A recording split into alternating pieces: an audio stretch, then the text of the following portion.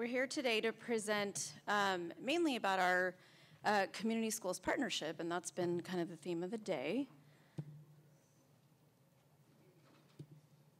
So I'm going to take a few minutes so we can all introduce ourselves. So Lara, do you want to introduce yourself? Can you? We can barely hear, so good afternoon. They can barely hear me? Good good afternoon. I'm Lara Choulakian. I am a licensed clinical social worker and the manager of uh, Thrive School Mental Health at the Pasadena Unified School District. Great. And my name is Shefali D'Sa. I'm the Assistant Vice President of School-Based Mental Health and Early Education at Sycamores. John, do you want to introduce yourself? Sure, sure yes. Uh, good afternoon, Sacramento. Uh, my name is John Lynch, and I'm the community school specialist at the LA County Office of Education, uh, working on the community school model here in Pasadena Unified. It's great to be here today. Thanks, John. And then Marisa? I'm Marisa Perez Martin. I'm the Vice President of School Based Mental Health and Early Education Services at Sycamores. And Shannon? I'm Shannon San Pedro. I'm the Clinical Director of School Based Services at Sycamores. Awesome. So that's our panel for today. And like, you know, through the pandemic, it's hybrid. Fun, th- fun times. All right, so Shannon, can you tell us a little bit about Sycamores? Yes, so we are a community based mental health and child welfare organization serving roughly 6,858 youth and families a year in Los Angeles County. We have a wide array of services including outpatient, community-based, school-based, which is my favorite, um, residential, wraparound, prevention and early intervention, PEI, full-service partnership, and therapeutic behavioral services. Thank you. Great, thank you. Awesome, thanks Shannon. Lara, can you tell us a little bit about Pasadena Unified School District? Absolutely. So PUSD's Student Wellness and Support Services Division, we house two unique internal mental health agencies that are uh, dedicated to providing mental health services to our student community. And the two agencies are PUSD Mental Health Services and my department, Thrive School Mental Health.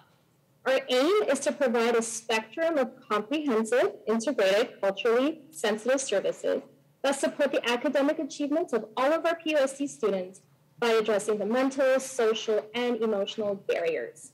So my department, we develop and oversee what's called our district mental health integration teams.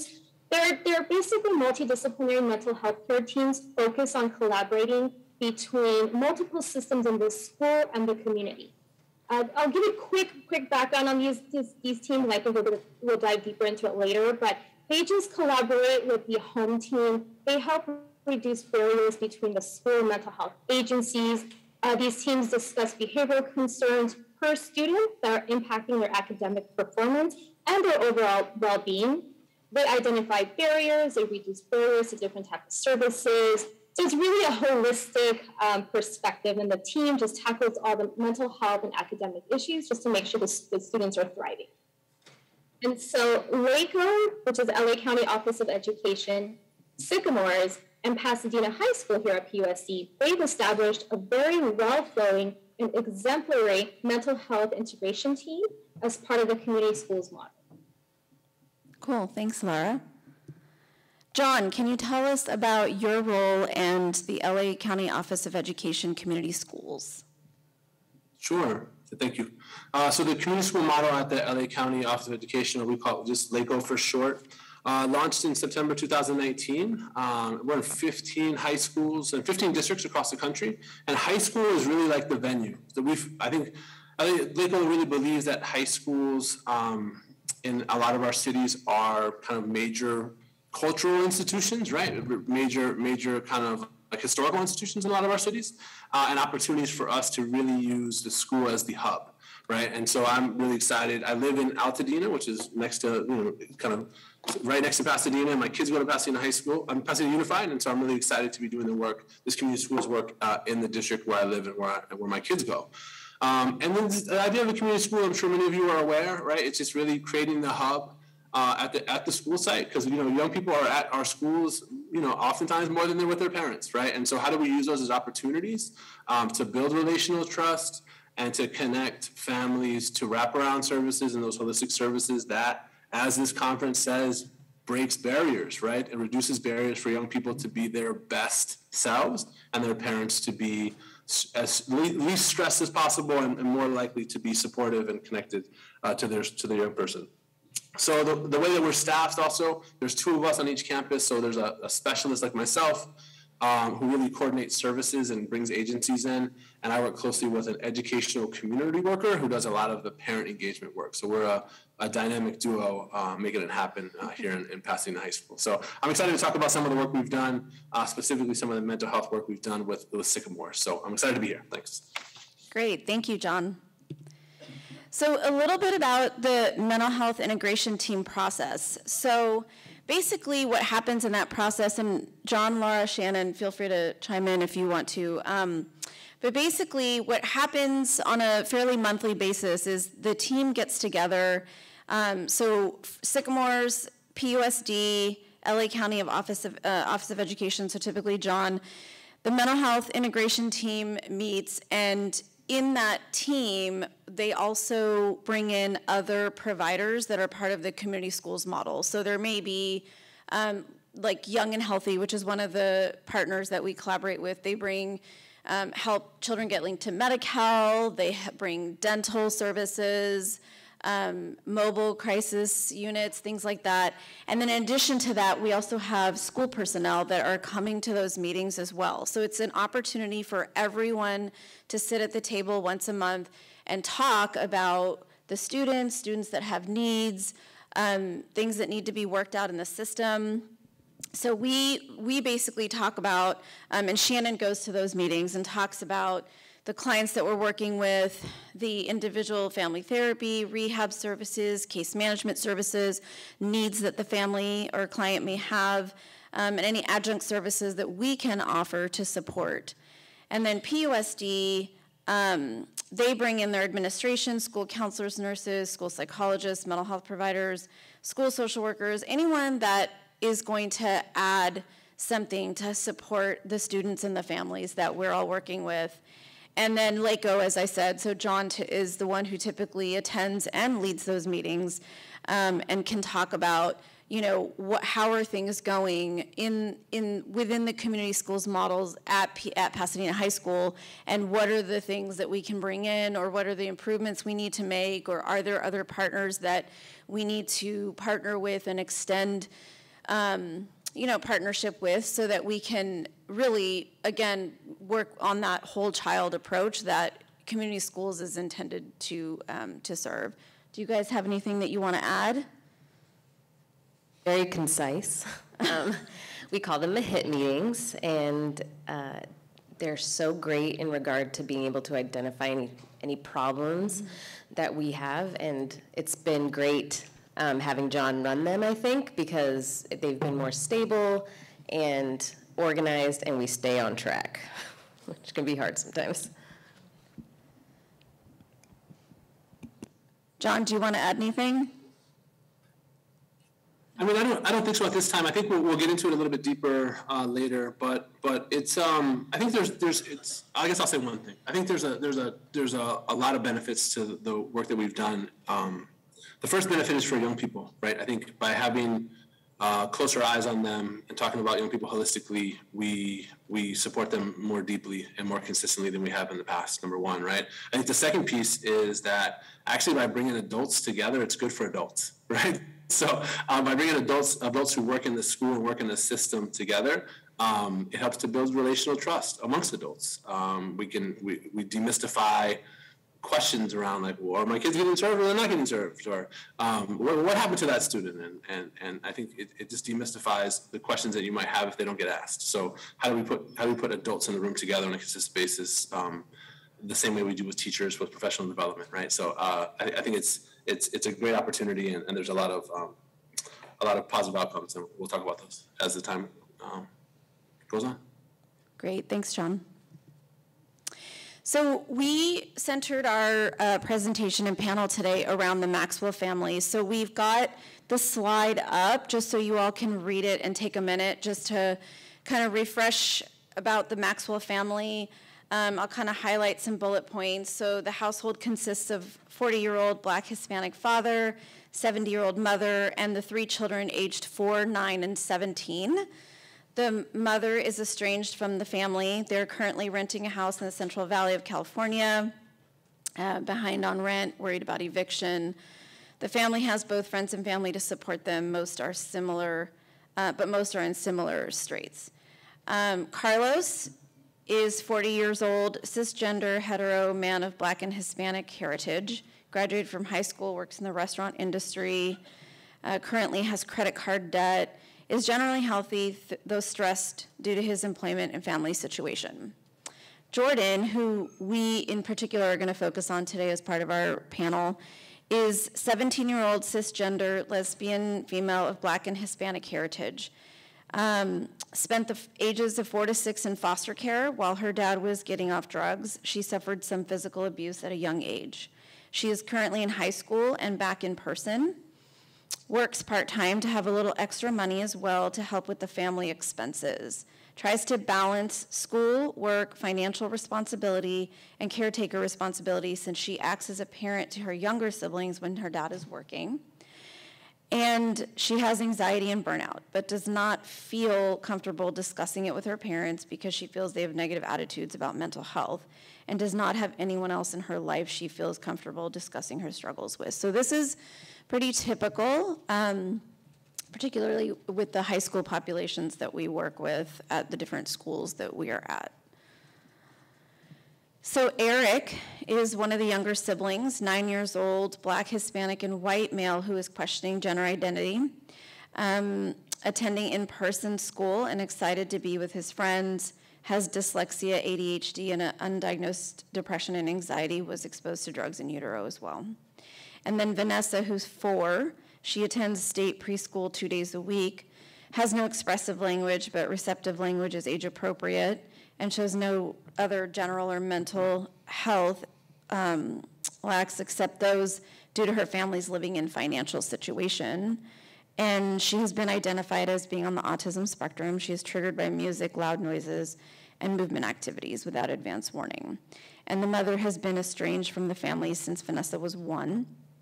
And then we have Allison Kaplan, who is the mother of Eric and Vanessa. She's 33, cisgender, hetero, white woman. She finished high school with a GED and took some classes to help her employment situation.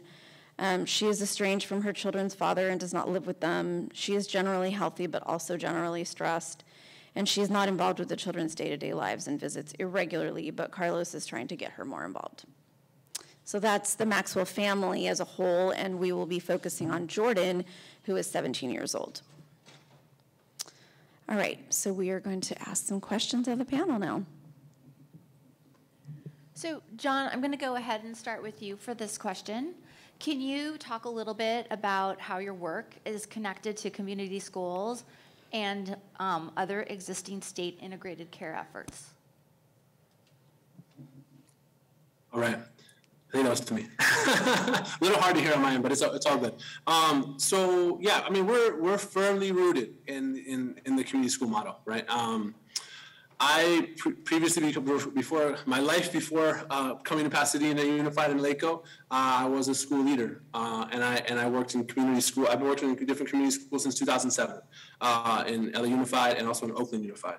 Um, so I'm a firm believer in the power of collective action. I think that schools 100% cannot do this work by themselves, that we need to be working with everyone who cares about kids and has resources and supports for young people and their families, right? Um, and so this work, and this, this, work is very much rooted in the community school model. Um, mental health was an express need of our school community before the pandemic, right? So before the pandemic, when I arrived, I think I was here six months before the pandemic started, um, it was very clear that we had a mental health um, issues to deal with on campus, right? And I think our administration was very clear on that, and Sycamore was very clear on that. Um, I think the pandemic made our parents much more clear on the mental health needs uh, of both themselves, I'm a parent too, uh, and, and, and their students, right? And so the pandemic has really reinforced and double down our efforts on supporting the mental health needs of, of our students in the holistic work that we do as a community school. Um, and I'm excited to partner with Sycamores, man. I mean, they've been they've been in the game at our site for like 25 years, right? And that's that means a lot, right? That that means like they're not a fly by night. Um, when when when it was when it was not that sexy to be on a school campus, they were still here, right? And so um, we're excited. I'm excited to work with them uh, because I think I know that they're, they're ready to stay the course, and I think they'll be around for, for 25 more. Um, so so yeah, our work with them is very much rooted in, in the community school model, and um, yeah, that, there it is. John, can you add a little bit about some of the other partners that are on campus? Some of the other partners that are uh, on campus for the community school model? Yeah. Uh, sure. So in terms of mental health specifically, and, and please nudge me if you want to hear more about other stuff. Um, mental health specifically, we have three main partners: Pasadena uh, Mental Health, which which is kind of under uh, under Lara. Um, Sycamores, which is our only site-based mental health partner. So like I can walk uh, two minutes across the across the way and walk into their office, uh, and also Foothill Family. And so it's really kind of cool to have three different uh, entities on campus. Um, but but and, and and one of them I brought one of them I brought I kind of brought Foothill Family a little bit deeper in, but I, but I didn't bring them in at first, right? I was that wasn't my first thing to do. Like oh my god, like let me let me scramble and get more partners, right? I think I think first I. Um, I took a needs assessment. I had to get an understanding of what, what we what we had and what we what we needed, right? And I think with Sycamores we have a, a very invested partner, but Sycamores also works mostly with students who have Medi-Cal. So so you know we we have a population on our campus of kids who live in million dollar homes, and we have a population of kids who are tripled up into one bedroom, right? And so we have a range, and you know as a community school we're supporting million dollar homes and we're supporting tripled up in in, in a one bedroom too, right? And so um, so we brought Foothill Family in because we knew that we they had some additional funding that would allow us to be a little more flexible, right? And so they felt they filled a need that we didn't necessarily have. So we're we're you know thinking about um, college and career readiness. How do we maximize those partners? Thinking about um, student engagement and support. How do we maximize those partnerships? And also thinking about parent engagement and support. How to maximize those partnerships. Those are kind of the four main buckets of work at our community school. Thank you.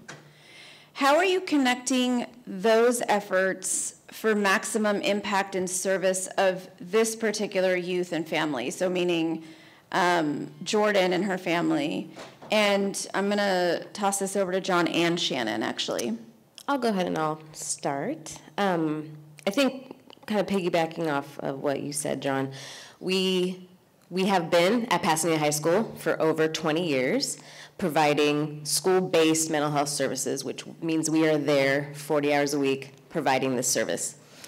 And it, it was a very strong relationship, but having John come in and facilitating these amazing meetings with all of us, I think more needs were met. More people were coming to the table with better ideas. Um, and it was just really great to have that.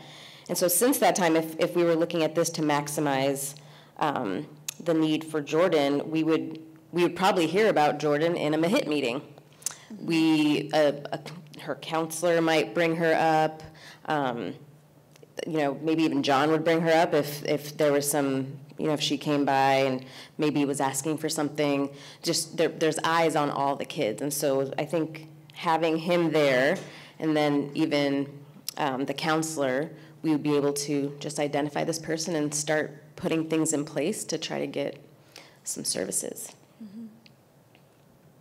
And I think um, for my positionality as a community school staff member, it really, again, I'm, I'm site-based, so I'm here, you know, I'm here, I'm kind of like another administrator on campus in many ways, right? And and I really, I have one foot in the school and one foot in the community, right? So if I have a kid like Jordan, Jordan's Jordan's struggling with her grades, I might meet with Jordan and say, hey, what's going on? Like, talk to me about biology class. And then but Jordan would say, oh, you know, biology is tough because the teacher goes really fast and I don't really, I don't really, I don't really catch up. And so we might talk about tutoring or we might talk about like advocacy. Like maybe you should just email your teacher, right? But, but I, but I can do that because I actually know who that biology teacher is. Right. And so I can do, we can, we can make some of those moves together around teacher engagement or, or advocacy with your counselor or getting tutoring services because I do have one foot in the in the school site, right? And I'm not going to tutor her, but I'll connect her to tutor, right? I'm not going to maybe email her teacher for her, maybe I will, um, but I but but I'll but I'll direct her and nudge her to do that, right? Um, but I also have one foot outside the community, right? Uh, into the in, uh, outside, outside the community, outside the school, in the community, um, and you know, in this case with the Maxwells, it's it's complicated, right? There's a lot of stuff going on in this family that needs to be addressed, and there's some roots right? There's a root around economic struggle and stress, right? There's a root around kind of early abuse and, and foster care foster care systems right? Um, there's some there's some stuff around around work opportunities both for the, the father and for the young person. Uh, and these are these are places where there's resources right? Um, you know we're in california. We're like it's like the sixth biggest economy in the world right we have resources for, for, for young people and their families. And I guess the question is like, how do we, how hard are we willing to work and how aggressive can we get to get young people and their families like the Maxwell and jo- the Maxwells and Jordan, uh, the types of, of, resources that they deserve. And uh, I'm, I'm willing to work pretty aggressively to do that. Great, thank you. Shannon, you mentioned it already a little bit just around that what that referral process would look like for Jordan at Pasadena High School. Can you talk a little bit about that and how all the other referrals can also come for the other family members and mm-hmm. what that process looks like. How do you follow that up? Yeah, so this is something especially in the Maxwell family where Jordan is a little bit worried about the family's ideas about mental health and things like that. And I think us just being on campus is kind of nice because people see our faces, even parents see our faces. But what's more important, I think, is that they will know John, most likely. And so if John is, you know, calls the family and says, there's here's all these resources. Also, we were thinking about referring Jordan to um, some mental health therapy that we have on campus. Would you be okay with that? We're more likely to get the okay because if they trust and trust John, and then John trusts us, we're more likely to get that to happen. So, because the school knows us, actually, anybody a kid can walk into our office and they could refer themselves. Um, a, a, teacher can refer them. Um, the teachers all know us. We go to teacher meetings to just introduce ourselves, to kind of talk about things. Um, a nurse can refer them. Uh, the principal, John, literally anybody can just refer. And we have referrals. John has done an excellent job of making, getting our referral onto the PHS website which has been so helpful, especially during the pandemic. Mm-hmm. Um, and then we just have them in our, we have a box at the school. We also try to, uh, pre-pandemic, we would provide all the teachers with like a folder of like, if this is what you see, this might be a good candidate for mental health services. And it included our referral as well. Great, thank you. What is the process for developing SMART goals for Jordan and how are they monitored within a community schools model? So this is John and Shannon. Whoever wants to go first. John, I'll start. Is that okay? So I think so say so say Jordan was referred and we would we would assign Jordan a therapist that would do a 30 day assessment, essentially just identifying all of the things, a very well rounded assessment, which would include input from Jordan, input from Jordan's dad, John, the counselors, teachers, any, anyone that they identify as important. And um, we would then create what our mental health smart goals, like what we think and what Jordan wants to specifically work on. And I think how we would monitor it is in these MAHIT meetings, we would have that happen monthly. We might just kind of go over Jordan's treatment and what we've been thinking about and what we've been doing. And then, you know, John, because we kind of disperse what's needed. Like John's really good at like identifying community resources you know, we got the therapy piece down. The mm-hmm. counselor could, you know, give a little bit more time to Jordan and maybe identify like, okay, these are some goals that I want you to do for your bio class. Like, and so we kind of all would come together and see how how are they doing. And sometimes when we don't have meetings like this, when we don't have this type of collaboration, because it sometimes happens at some of our other schools if we don't have something like this, we think that the kid's doing great like they're mm-hmm. meeting their therap- therapeutic goals. We're hearing from the parent, everything's AJ squared away, but they're failing all of their classes. and so there's still some work that could be done. And even though the- our model, we do, we do therapy and we also have um, rehabilitation, um, I, I think that we could definitely still work with them. And we wouldn't know that unless we were in this meeting and having these pretty consistent discussions about them. And so John's very helpful in that way.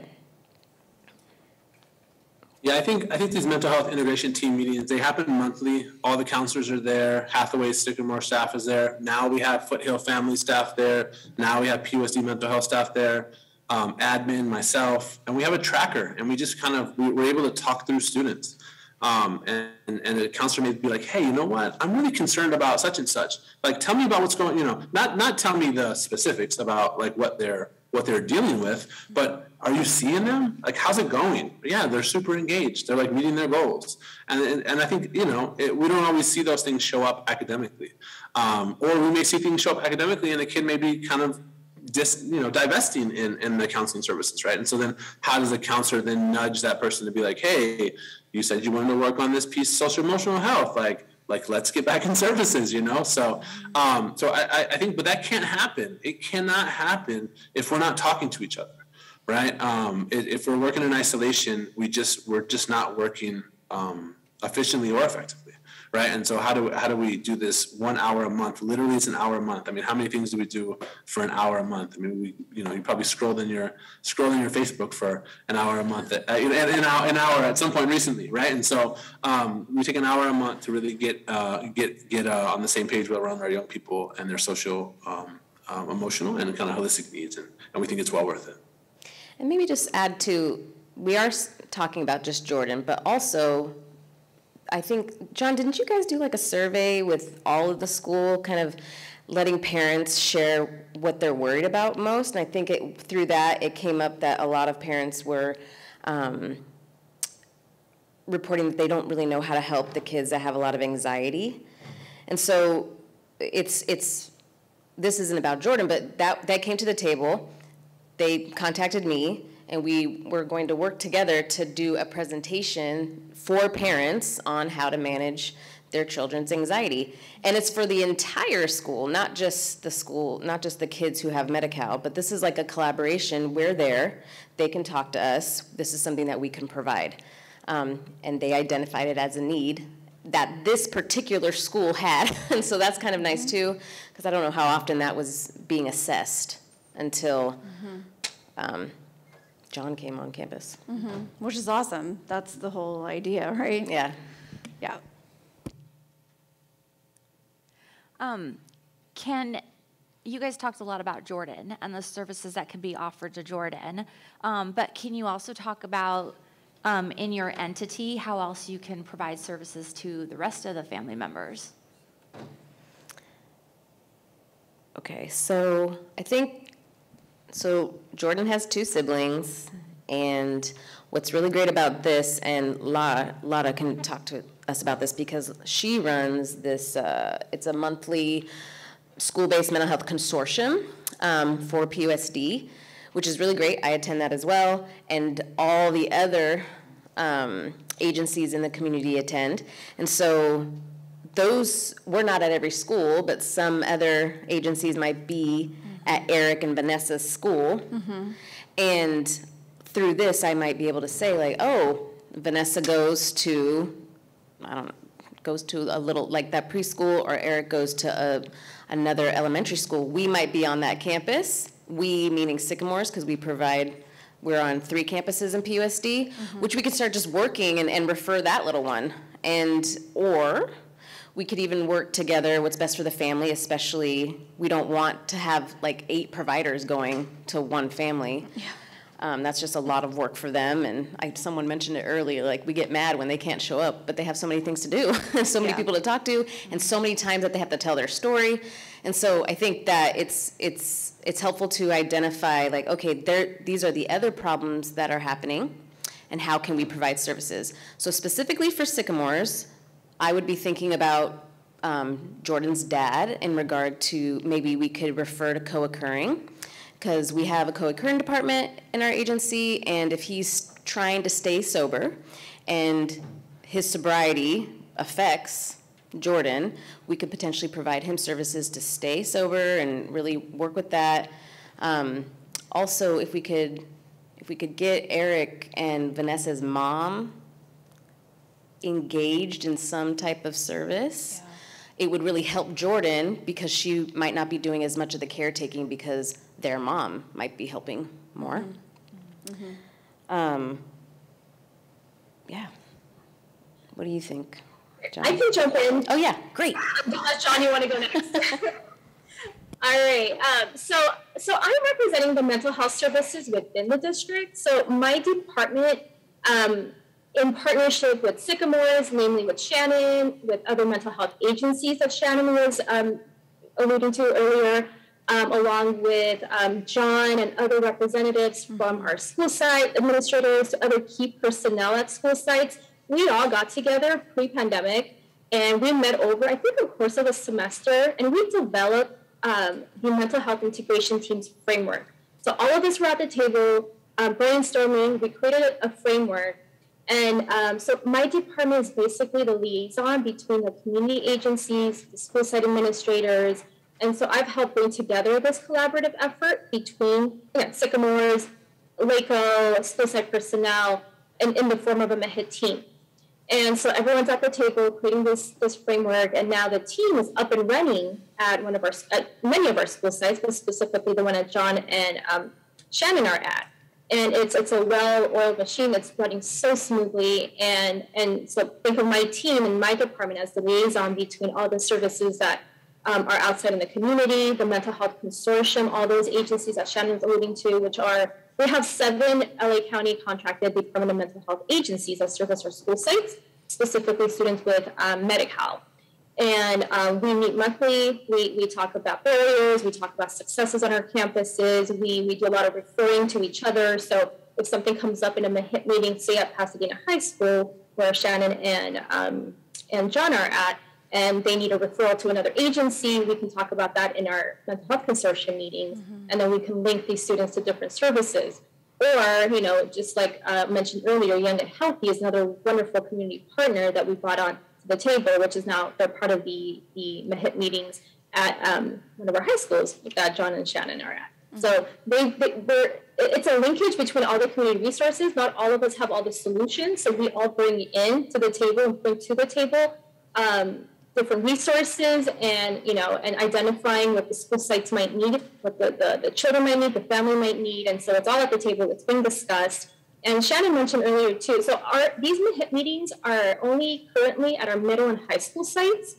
And we're trying to expand so that they're at the elementary sites as well. So part of the maxwell family they're they're they're younger they're at um, middle and elementary school sites. So if there's any if there are MAHIT meetings and teams at these elementary school sites we can easily identify the younger siblings as needing support and then do warm handoffs once they graduate and promote from say fifth grade to sixth grade so from elementary to middle from middle to high school these MAHIT teams can help with these warm handoffs um, so that the next team can follow up with the family if resource if further resources are needed. Or maybe the MAHIT team can say hey this is what we've been working on. We're handing this case to you and if you guys can start following up with the family. So there's a lot of identification going on at these tables, and our my department was just you know uh, it, it, was bringing everybody to the table with everyone's support, creating, creating a framework that all of us agreed on, and then so they're able to implement on their school sites.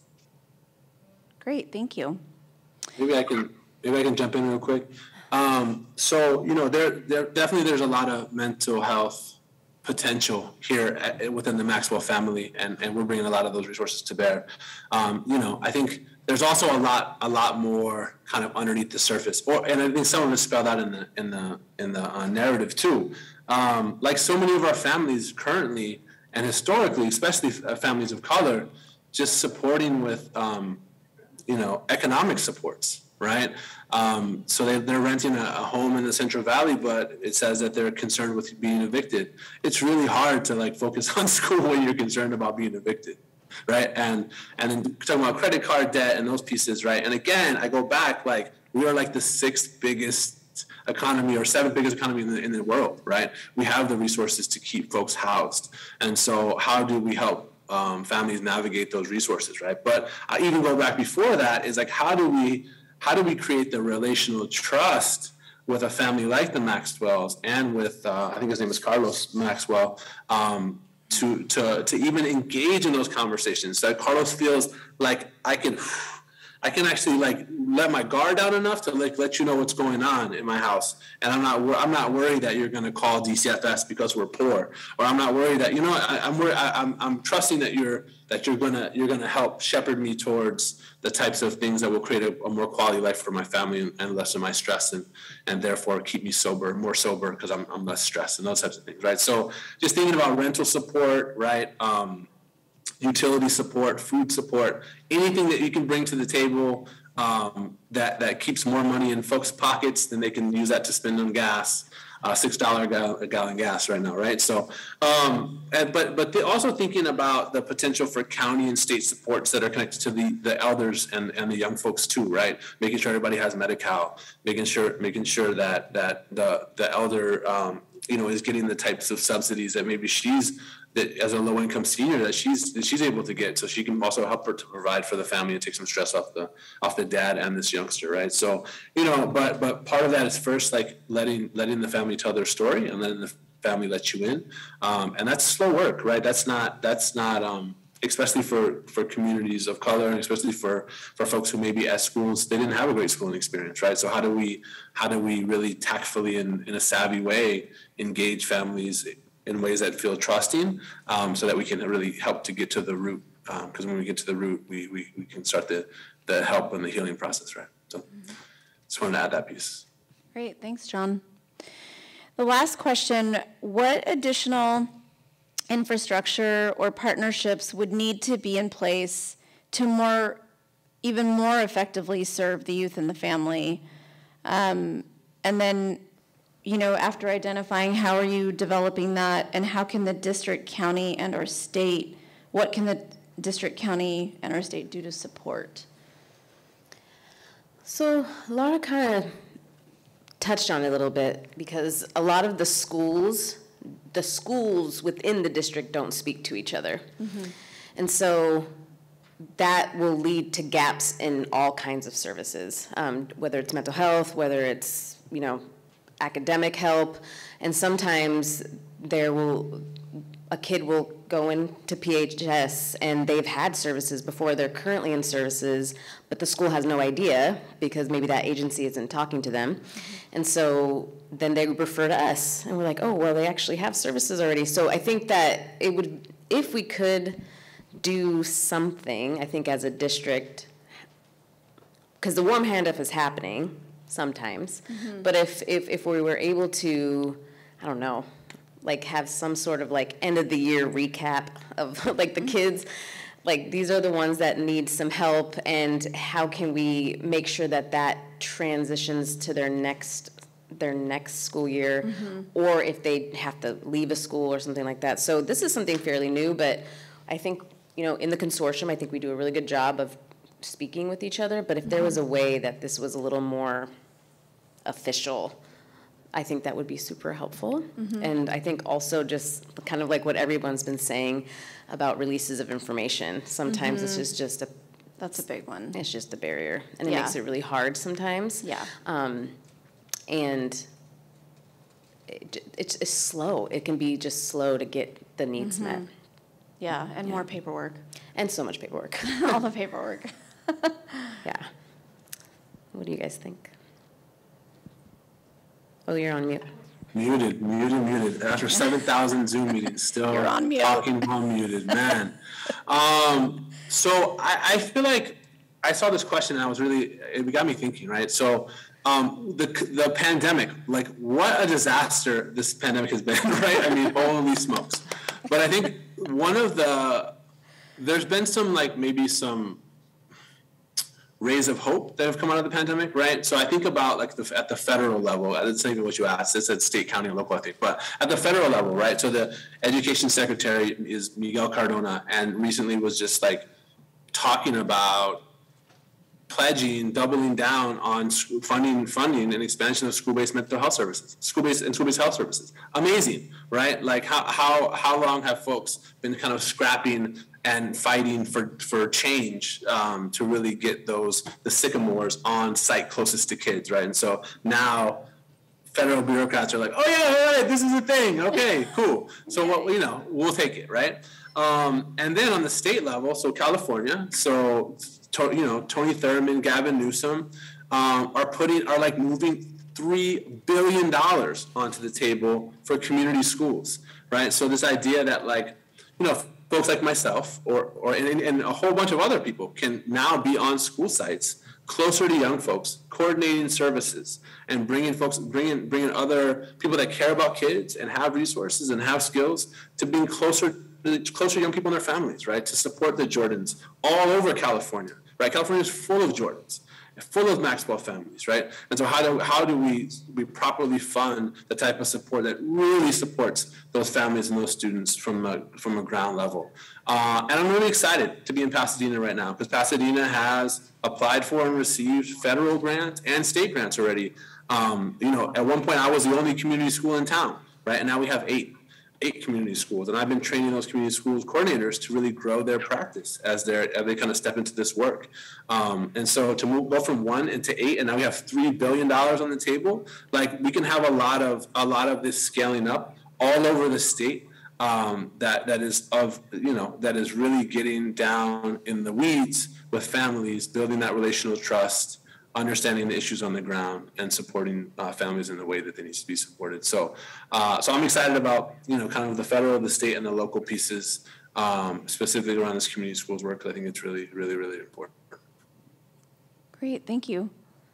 Anything else? Yeah, we, we have time for questions. comment, but um, we've talked in a, in a number of different uh, presentations. We- We've talked in a number of different presentations about, you know, grassroots up is always incredibly valuable, but, but leadership and from the top down is also invaluable. And I'm just wondering about, you were talking about schools don't talk to each other, and there's gaps when kids make transfers and stuff like that. Isn't, is the superintendent of schools behind this? Can, I mean, is there something the superintendent of schools could do to help um, create more seamless movement between schools and improve communication between schools? I'd say that's a good question for Lara, Yeah, Lara, did you hear since that? you can give us the district no, perspective. So, um, can you hear me? Yes, I can hear you. So someone was asking, because there's some gaps in, in the schools within the district speaking, is there something that the superintendent can do to try to ease that, um, those gaps? Absolutely, I'm sure. Absolutely. It's, it's really getting everybody on board. And I, I feel like, especially during the pandemic, leadership on different, everybody has different leadership on their campuses. And there's more buy in on some campuses around mental health than others. But I think at this point, everybody is realizing that yes, these, these services are highly needed. These teams are, are incredibly helpful. And so I, I think everybody's just more on board. Um, going back to funding too, having funding staff, having more funding to fund these staff, more sustainable funding. Grants are amazing. Even you know, my department is almost fully grant funded, but they sunset. And so, how do we sustain, um, have more sustainable funding, and then growing these? There, there has to be positions on campuses that can also implement these services, and so that there's leadership, but the leadership can always they're not implementing. So they need to have other um, more sustainable uh, positions that are able to hold these meetings, do the linkages, provide the services. But um, yes, absolutely. I feel like you know there there is a huge push towards more mental health services, more supports on our campuses. Our our, our superintendents are absolutely pushing for that. Yeah, absolutely. If you didn't have more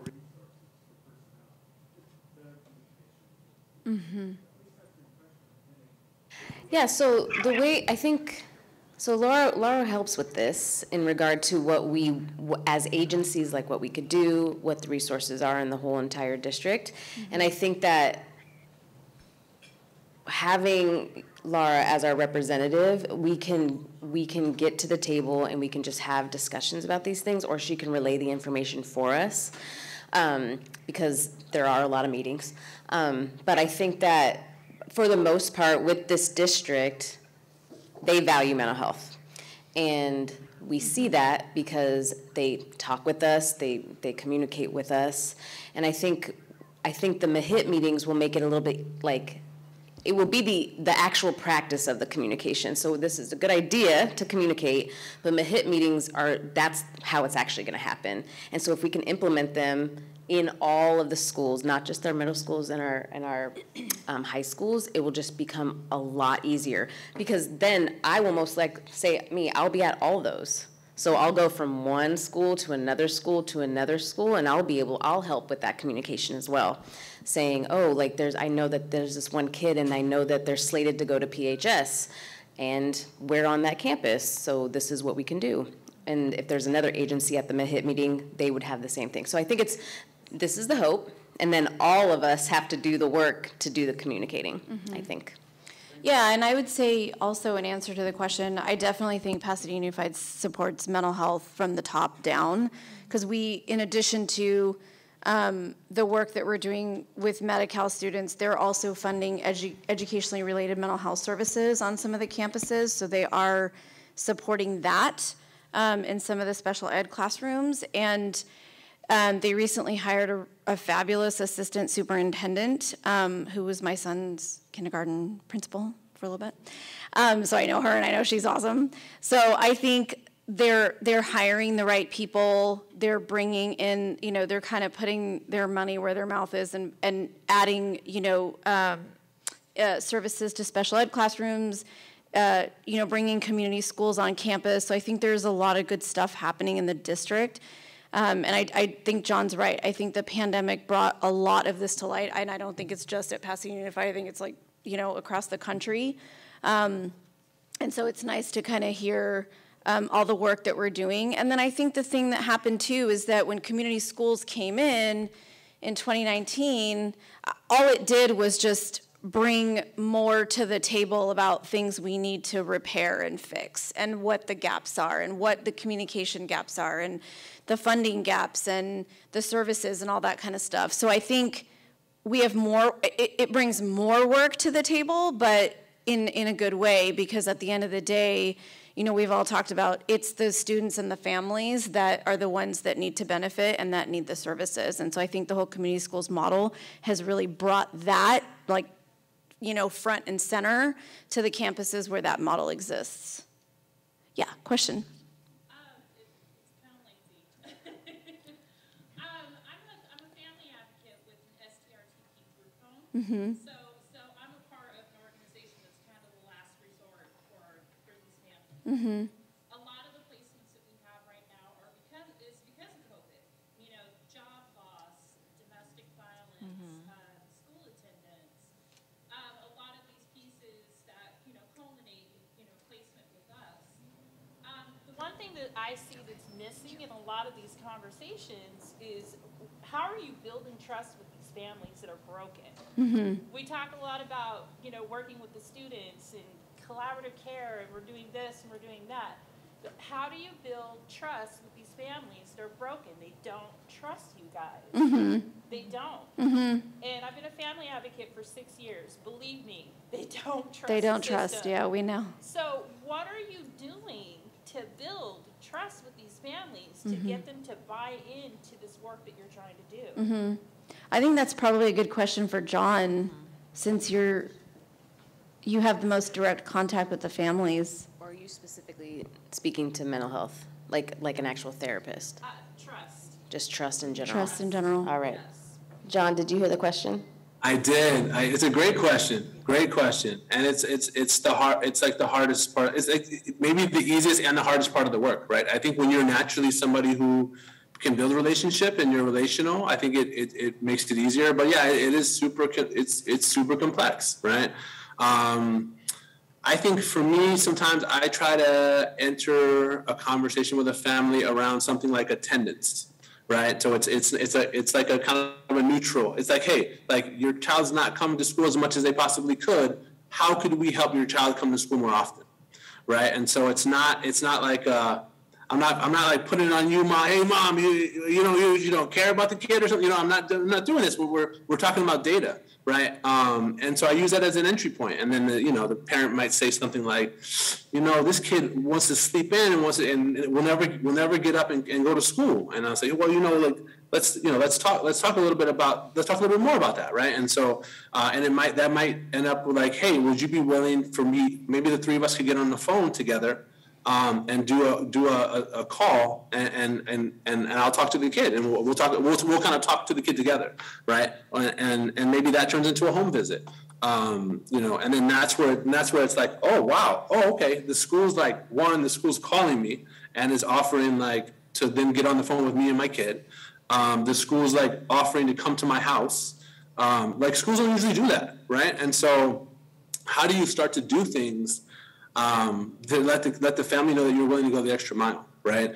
Um, and you know, and and and I think those I think those things pay off. I think those things pay off, especially when you do it from the school side, because again, um, that doesn't happen very often. And I think that parents see that, right? Parents, you know, parents of, that have a kid who's older or have multiple kids have seen what schools are willing to do and what schools are not willing to do, right? And so if you can do things that, that general schools are not willing to do and willing to push and willing to, you know, willing to, you know, hey, mom, this is my cell phone. Like, call me when you need to call me, right? Or you're, or you're texting, you're texting uh, mom and just checking in. Hey, you know, he came to school today and, and, um, I appreciate that. I, I'll take a selfie with a with me and a kid. You know, uh, hey, he's on campus. I see him. He's on campus with me, and I'll text it to mom. And then you know, those are the types of things I think that then when you have to have harder conversations, like, hey, your kid doesn't have enough credits, and they're looking at alternative schools.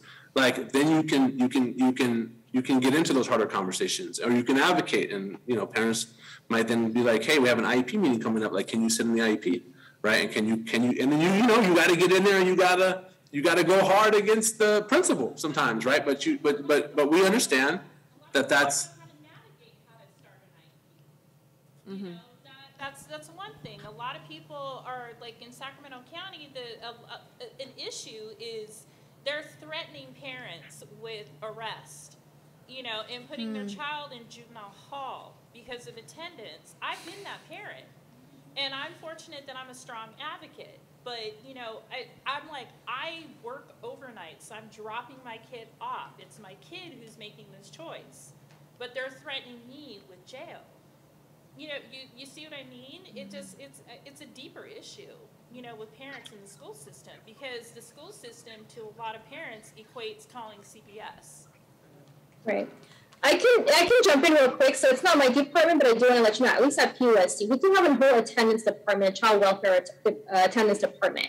Um, we have attendance advocates and attendance specialists. They work. We have interns who work with students who are chronically absent and truant, building that relationship, explaining the legal aspect of things. If you do miss school, this is potentially what could happen. Our, our goal is for it to not to get to the level of SARB hearings student attendance review board hearings. Our goal is to identify barriers, um, early intervention, prevention, early intervention before it even get to that level. And there's a lot, there's a whole department at the district dedicated to doing that type of work. And then SARB, me, I have not been to like a, like SARB meetings from a long, long time ago, but all the SARB meetings that I've attended for the last two years, they're so um, you think it's going to be a little bit combative, and all the parents walk in ready. And I would too, as a parent. And I think that within five minutes, I think they understand that mm-hmm. everyone there is there to assist in solving a problem that is a struggle and saying, like, because half the time, sometimes a school doesn't know these things or it, it's never been shared that, mm-hmm. you know, I, I can't drop my kid off because of this, this, and this. And so I think that they, in those SARB meetings, which is like the end of the road at that point, if you're in a SARB, it's not great. And I think that they leave typically feeling like, okay, this person's going to do this, this person's going to do that, this is my job, and then this is my kid's job.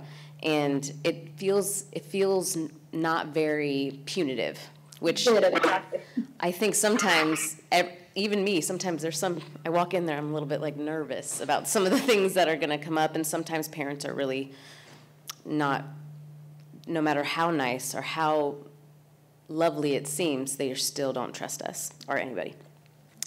Um, but I think like I feel a difference in sometimes how the schools are looking at things. They are acknowledging that there's so many things that a person has to deal with before they even show up for their first period.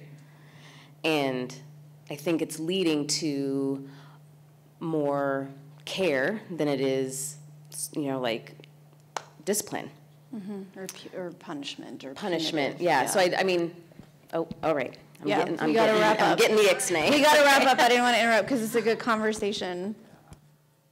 Yeah. Great. So we, if you have any questions, we have our contact information up here. We're gonna be here till tomorrow.